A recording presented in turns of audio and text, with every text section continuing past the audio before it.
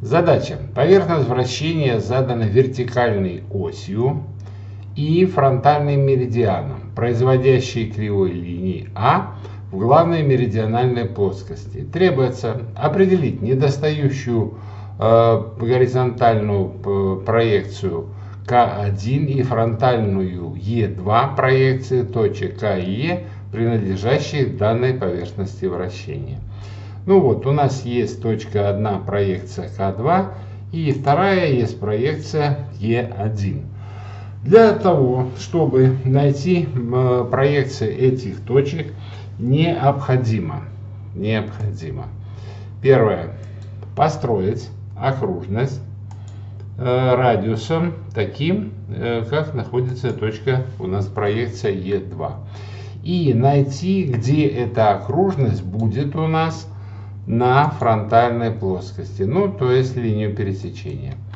А линию пересечения нашли, построить саму положение этой окружности, э, этой окружности и на этой окружности построить проекцию э, точки Е2. Вот эта проекция и сама проекция Е2. Значит, у меня заготовлена уже маркировочка. Вот сюда ее поставим. Вот положение точки Е2.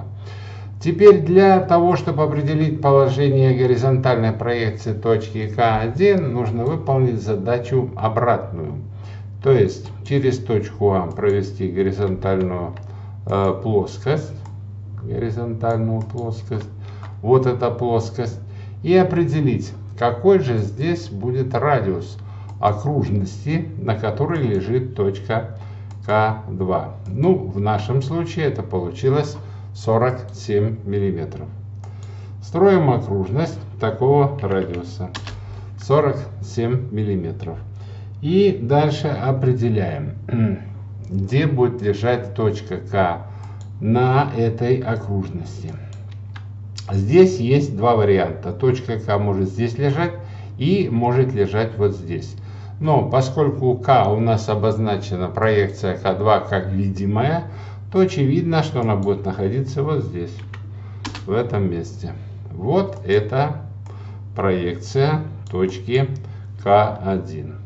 Все требуемое в условии э, задачи э, то, что необходимо найти, мы с вами сейчас нашли. Задача решена.